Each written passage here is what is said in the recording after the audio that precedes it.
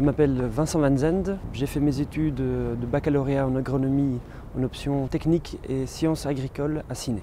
Je travaille actuellement dans le service marketing de la banque Crélan et plus spécialement dans euh, la cellule Market Management Agricole. On a, on va dire, trois axes de travail. Le premier qui est le suivi de l'actualité agricole tant au niveau économique, au niveau politique aussi, que ce soit régional ou au niveau européen. Tous les éléments de marché, on doit en tenir compte dans la création d'un plan marketing. Ce plan marketing euh, prévoit les actions commerciales qui vont être mises en place l'année suivante. Le deuxième axe qui est là encore un peu plus technique, où on doit suivre l'évolution de notre marché à nous, de notre portefeuille clientèle agricole, au niveau de la production euh, crédit par exemple, le nombre de crédits qui sont effectués euh, par jour, par semaine. On doit aussi suivre l'évolution des marges qui sont importantes naturellement et en fonction de ces éléments, on adapte notre, notre pricing, on lance des actions commerciales bien spécifiques. Et finalement, un dernier axe, c'est euh, ce qu'on pourra qualifier de la communication agricole et aussi l'organisation d'événements. la communication agricole, c'est préparer par exemple toutes les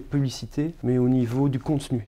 Puis naturellement, les événements agricoles, les deux plus connus sont euh, la foire de Libramont et euh, Agribec. On a lancé aussi une formation agricole euh, en interne, donc pour nos collaborateurs et pour nos agences.